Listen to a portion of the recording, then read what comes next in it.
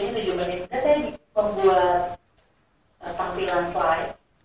Tadinya sih pengennya saya harus uh, pakai karena itu sudah dibuat gitu ya. Tapi berhubung waktunya juga ternyata sangat terbatas ya jadi nggak apa-apa nggak usah pakai slide. Uh, anomi ya kalau istilah uh, sosiologinya. Ada uh, masa apa namanya ada anomi yang tadi. Ketidakjelasan nilai. Kartini sudah disekolahkan maka kalau diistilahkan tuh Kartini tuh sudah keluar dari sangkar burung, sudah merasakan indahnya ke ILS, melanjutkan semua ke Belanda, melanjutkan ke, ke Batavia, sedangkan dia tidak boleh. Kedua, dia mengkritik, dia kesal terhadap sistem perkawinan. Kenapa? Karena keberadaan dia saat itu tidak bisa sekolah karena dia dipingit. Ketiga, ada unsur kritik yang tadi pluralitas tadi. Dia melihat uh, bagaimana tetangga Cina-nya, Tionghoa, tetangga Arabnya gitu ya. Dia dia ingin berkenalan. Dalam suratnya diceritakan, dia pernah menceritakan pada Stella bahwa dia ingin sekali berkenalan dengan teman-teman uh, perempuan dari uh, etnis lainnya. Jadi keempat, dia mengkritik agamanya. Karena dia ya tadi sudah dibahas di awal gitu bahwa selama ini yang dia dapatkan dia uh, belajar Islam. Kalau dalam suratnya Islam itu adalah agama yang saya peroleh dari nenek moyang saja. Dia tidak tahu tapi kita lihat konteks zamannya saat itu. Kenapa dia tidak tahu? Bahkan bukan hanya Kartini, banyak orang yang tidak tahu saat itu karena memang politik pemerintah kolonial Belanda yang melarang adanya apa upaya apa sih mentranslate atau menerjemahkan Al-Quran itu nggak boleh. Jadi boleh membaca Quran, tapi tidak boleh diterjemahkan. Nah kalau kita tarik lagi, ya ini ada kepentingan Belanda lagi secara lebih luas gitu ya untuk mereduksi uh, salah satu ancaman yang cukup meng, apa ya mengganggu Belanda ini kan gerakan Islam. Saat itu jangan sampai nih Al-Quran dibuka ada kata jihad gitu ya. Ada nah ini ini jadi boleh baca itu adalah tapi tidak boleh diterjemahkan. Sehingga wajar saat itu semua orang mayoritas hanya tahu membaca saja. Ya tapi di akhir hidupnya Kartini makanya disebut habis gelap terbitlah terang gitu ya. Karena dia mendapat pencerahan. Kalau kita lihat surat-surat terakhirnya um, yang um, apa namanya menceritakan kritik dia terhadap uh, pemerintah kolonial Belanda. Itu di tahun 1902 1903 itu banyak surat-surat dia yang sudah ceritanya itu sudah mempertanyakan apakah bangsa anda bangsa contoh bangsa Eropa yang menjadi contoh itu bangsa yang terbaik belia di perbatasan supaya mereka tidak jatuh ke rezim. Jadi eh, di depan buku itu dikatakan begini, kalau saya mendidik laki-laki, itu saya hanya mendidik. Tapi kalau saya mendidik seorang perempuan, itu saya mendidik sebuah keluarga. Dan kalau saya mendidik perempuan-perempuan, saya mendidik seluruh bangsa. Jadi berbahagialah kalian para perempuan karena harusnya istimewa. Pak Upi, dosen filsafat di uh, World Class University atau Working Class University Indonesia. Working, Working Class University ini pengakuan dari dosennya nih. Ya sudah, yang pantas memang Working Class University. Karena di tempat lain sudah dibuka Institut Tarbiyah Bandung.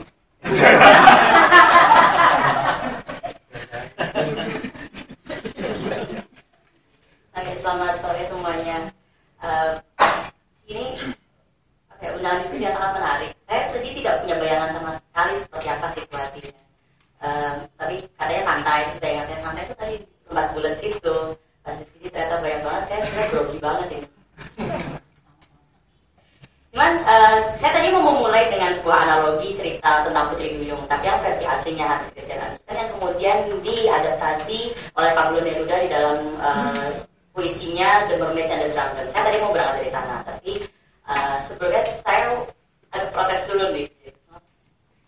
Saya tidak, saya kurang terima dengan kenyataan bahwa mendidik seorang perempuan berarti mendidik keluarga.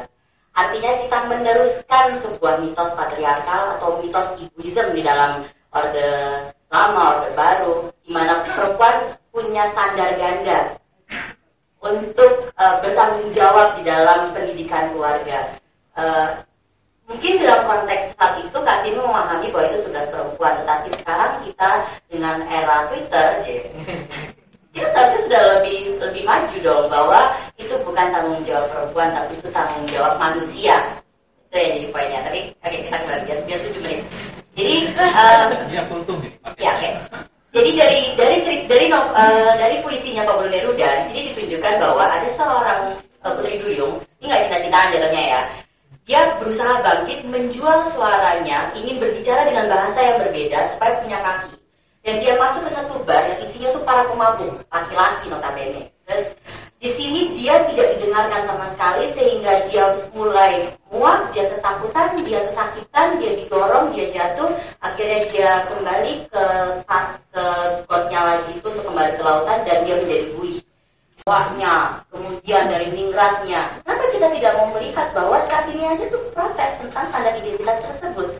Bagi dia, kalau saya mengutip dari Judith Butler, ada kecairan identitas yang bisa kita lihat sehingga kita tidak perlu lagi terpaku pada menjadi Kartini, melainkan kita mencoba memaknai dan menciptakan kita sendiri.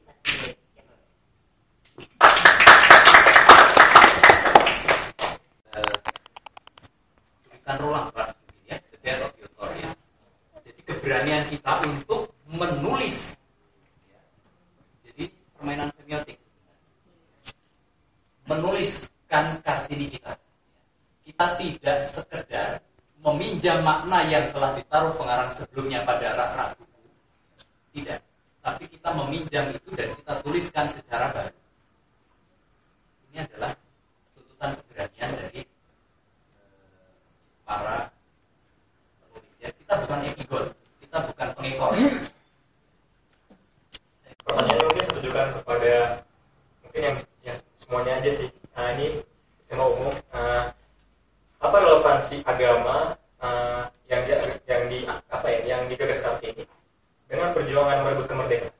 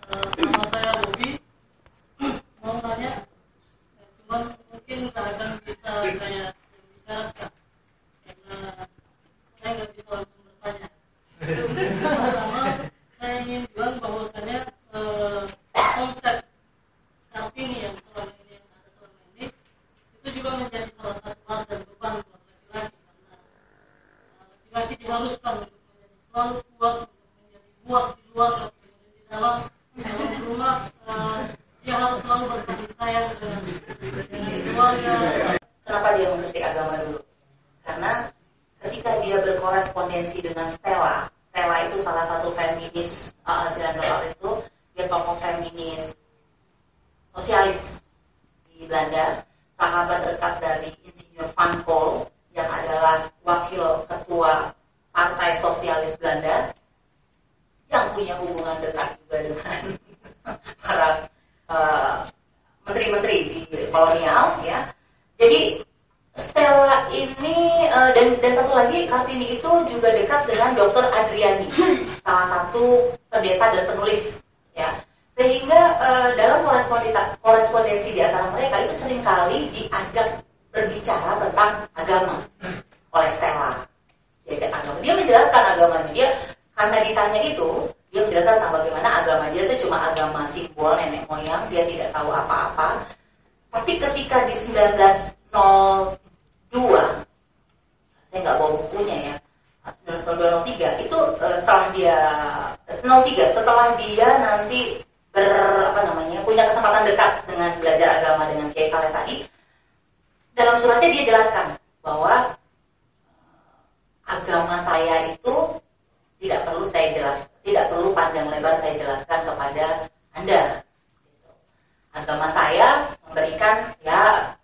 Intinya dia sudah mulai sudah berbeda pemikirannya nih. Tapi kenapa dia bisa bicara agama? Karena dalam korespondensi itu apa namanya dibahas agama. Nah yang penting dibahas sebenarnya kenapa kok orang-orang tadi itu Stella Insilu Van Pol datang loh dia ke Jepara, eh, uh, Abenden uh, eh, Abenden juga datang ke Jepara gitu ya. Kenapa? Sebenarnya kan lebih penting itu karena ada uh, ini Snokul Grosu waktu itu Menteri Pendidikan Agama dan uh, sorry bukan kerajinan. Saya lupa deh nama bahasa Belandanya apa. Dia Menteri Pendidikan.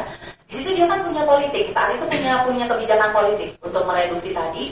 Nah, gimana cara mereduksi? Maka sesuai dengan culture Indonesia yang konsep dewa raja, bahwa raja adalah apa keturunan dewa dan lain-lain, sehingga yang harus dibuat dirubah pola pikirnya itu adalah kalangan priainya dulu, ningratnya dulu. Sehingga uh, kemudian ya udah identik gitu. Oh hari Kartini hari hanya diperingati oleh perempuan, laki-laki hanya menonton atau cuma jadi sebagai uh, apa namanya uh, pendukung saja dan seterusnya. Uh, saya mau mungkin agak sedikit sebelum masuk ke sana, saya mau agak bingung nih kalau ditanya relevansi agama dan nasionalisme, maksudnya perjuangan kemerdekaan itu jauh banget ya. Saya tidak betul kata Mbak tadi bahwa ini persoalan kita cuma baca surat yang sama sekali tidak bicara tentang identitas kebangsaan maupun keagamaan. Kemudian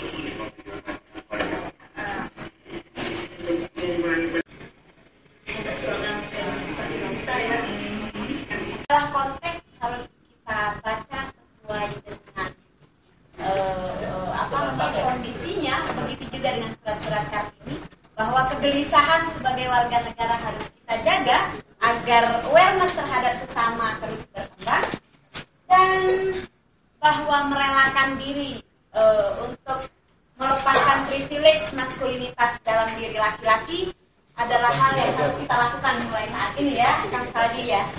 Itu kira-kira beberapa quote yang saya tangkap untuk kita renungkan bersama setelah diskusi ini kita bawa pulang ke rumah masing-masing. Teman-teman, sebelum kita pindah ke ruang di lantai satu untuk makan malam dan menonton eh, eh, film, tapi filmnya tidak berhasil film Kartini karena ternyata film Kartini HD-nya tidak dalam kualitas HD, jadi tidak bisa diputar eh, eh, secara cuma bisa diputar di PC gitu, nggak bisa diputar di ini. Jadi kita berpindah film, tapi filmnya nggak kalah keren. Bercerita juga soal perjuangan eh, perempuan dalam perdamaian. Itu eh, sebelum itu saya ingin memberikan kesempatan eh, Mas Dida, eh, Mas Islam. Oh, Mas Islam. Eh, iya. Menang dengan surat terbaiknya akan kami kirimkan langsung kepada Capres, eh, kepada Presiden Rapopo. Tepuk tangan untuk kita semua. Terima kasih atas kehadirannya. Kita makan malam di lantai satu dan kamu.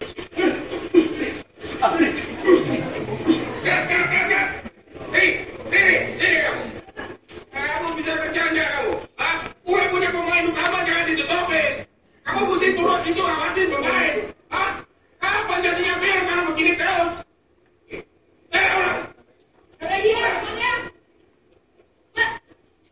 Mas, itu udah kamera. Aku jangan sebelah situ. Aku di sebelah sini aja. Ya, oke. Sekali lagi ya. Ya. Ya, sekali lagi ya semuanya. Setan. Action!